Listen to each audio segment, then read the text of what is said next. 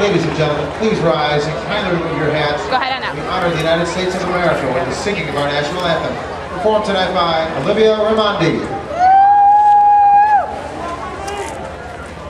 Oh, say can you see by the dawn's early light what so